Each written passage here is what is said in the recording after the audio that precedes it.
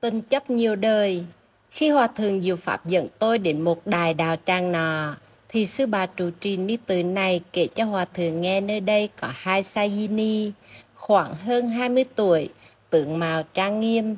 Trước khi xuất gia họ đều đã tốt nghiệp đại học, có bằng thạc sĩ. Sau khi họ phát tâm xuất gia rồi, thì tùng niệm bãi sám, kinh điển thuộc mau, các oai nghi, mỗi mỗi đều ổn. Lẽ ra hai cô này có thể nổi bật xuất sắc trong chúng, nhưng ngặt nổi họ mắc phải chứng bệnh đồng tịnh luyện ái mà chủ trì khuyến mại không được. Xin gọi họ là Ni X và Ni Y. Mới đầu hai cô này chẳng ai lìa ai, ngủ thì nằm sạc đơn nhau. Đứng đâu cũng đứng cùng, lên điền tùng kinh sớm tối thì một trước một sau. Vào thiền đường thì cũng ngồi kề bên nhau, thậm chí ngay cả đi rửa tay hai người cũng chẳng phân ly. Mới đầu đại chúng chẳng để ý, nhưng lâu dần trong chúng bắt đầu lưu tâm phê bình, bởi vì khi trụ trì phải một trong hai người đi làm việc, thì người kia nhất định phải đi theo, nếu không cho thì làm ầm lên. Lần đó thấy vấn đề tuy không nghiêm trọng nhưng lại ảnh hưởng đến sự thanh tịnh trong đạo tràng ni chúng. Mặc dù cả chúng ngoài miệng không nói gì, nhưng thường để mắt đến họ, cũng không phát hiện họ có hành động gì phạm thanh quy. Sư trụ trì đã nhiều lần khuyên nhủ hai cô, sau khi góp ý phê bình xong, thì Ni X bắt đầu lạnh xa Ni Y. Nào dè lại phát sinh việc không hay, Ni Y không chịu nổi cảnh Ni X lạnh xa mình.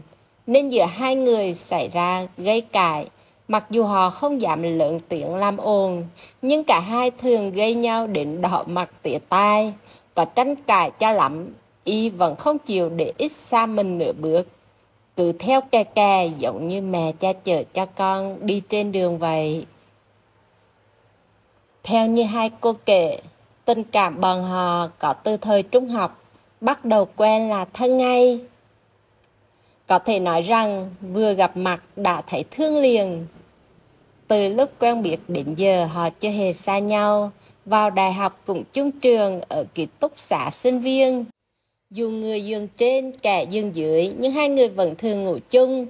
Chỉ cần X ở ngoài tầm nhìn của Y là trong lòng Y rất bất an, Ni Y thưa với trù trì rằng, con cũng cảm thấy như vậy là không bình thường, nhưng vô phương không chỉ nổi tâm mình. Do vậy mà sư trụ trì hy vọng Hòa Thượng Diệu Pháp có thể giúp giải quyết vấn đề khó khăn này.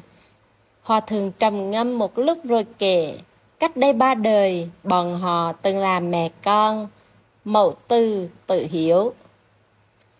Kiếp thứ hai thì họ tái sinh làm phu thê quan hệ càng khẳng khít như keo sơn, quần quýt không rời suốt cả một đời. Do tâm dâm ái sâu nặng, nên kiếp vừa rồi họ sinh làm đôi chim yến, sớm tối chẳng liền nhau.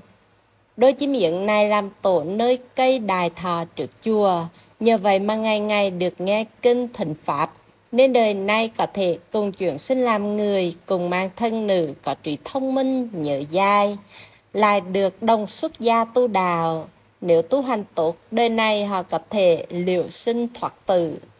Nếu như tâm cứ mãi đắm chìm trong tình ái sâu đầm từ nhiều đời đến nay chẳng thể buông bỏ, thì kiếp sau nhất định họ sẽ đọa địa ngục. Có muốn tiếp xúc với Phật Pháp cũng khó được. Kể xong, Hòa Thượng đáp ứng lời sư trụ trì thỉnh cầu, đặc biệt khai thị cho hai ni cô kia. Khi hai cô hiểu rõ nhân duyên của họ rồi, lập tức phát nguyện buông bỏ hết. Họ cùng nhau lên đài điện xin sám hối, phát thề sẽ tu hành tốt.